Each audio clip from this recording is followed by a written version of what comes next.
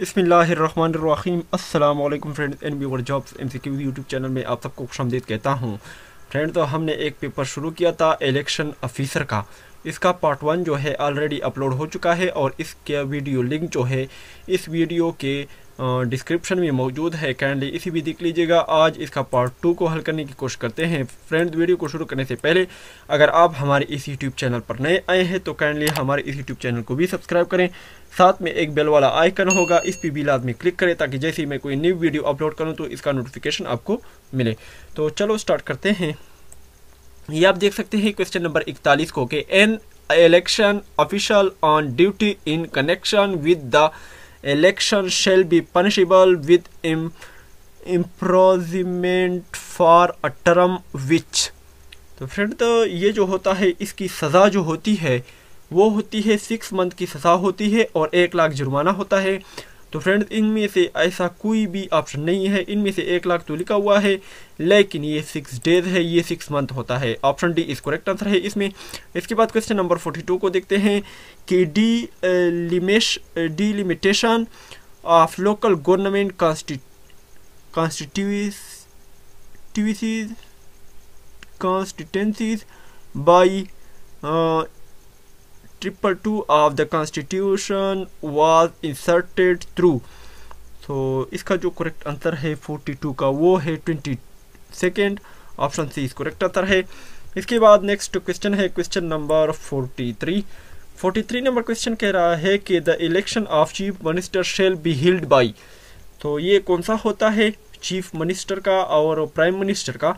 इसका जो होता है वो होता है शो अप बायलेट सो अब ballot option D is correct answer है। इसके बाद क्वेश्चन नंबर 44 को देखते हैं। When was the constitution of 1973 approved 12 April 1973 option B is correct answer है। इसके बाद नेक्स्ट क्वेश्चन की तरफ़ जाते हैं। क्वेश्चन नंबर 45 के the procedure for voting in the senate is describe in तो ये जो होते हैं 45 नंबर में आर्टिकल 226 यानी 226 आर्टिकल 226 के तहत होते हैं, option D is correct answer none of of दिस इसके बाद नेक्स्ट पेज की तरफ़ जाते हैं। नेक्स्ट पेज है क्वेश्चन नंबर 46 46 नंबर क्वेश्चन कह रहा है कि the commission shall also frame a code of conduct for तो इसमें से जो करेक्ट आंसर है 46 में से, वो है option C media and security plus personal इसके बाद क्वेश्चन नंबर फोर्टी सेवन को देखते हैं कि an appellate tribunal shall dash decide an appeal filed such time as may be notified by the commission and any order should be dash तो इसका जो correct answer है फोर्टी सेवन नंबर का, वो है option C similarity and final इधर similarity आएगा, इधर फाइनल आएगा। Option C is correct answer है। इसके बाद नेक्स्ट क्वेश्चन की तरफ़ जाते हैं।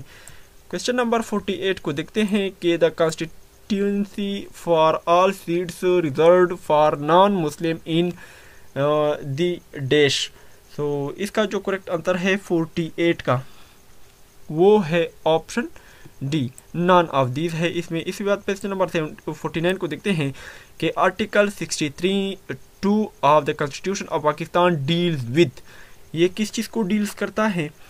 तो फोर्टी नाइन नंबर क्वेश्चन जो है, वो है option A pre election option A is correct answer है.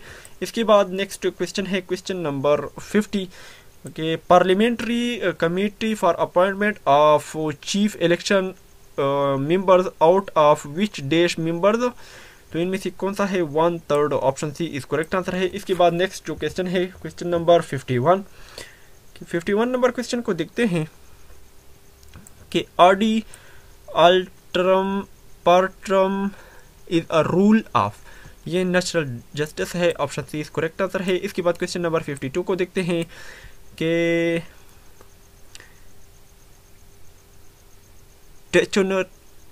Crate means a person holding तो इसका जो करेक्ट आंसर है 52 का, वो है ऑप्शन सी 20 इस करेक्ट आंसर है।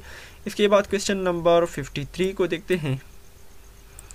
53 नंबर क्वेश्चन कह रहा है कि an election petition shall be presented to dash the official gazette of the name of the तो इसका जो करेक्ट आंसर है 53 नंबर का, वो है ए पैंतालीस days option A is correct answer है।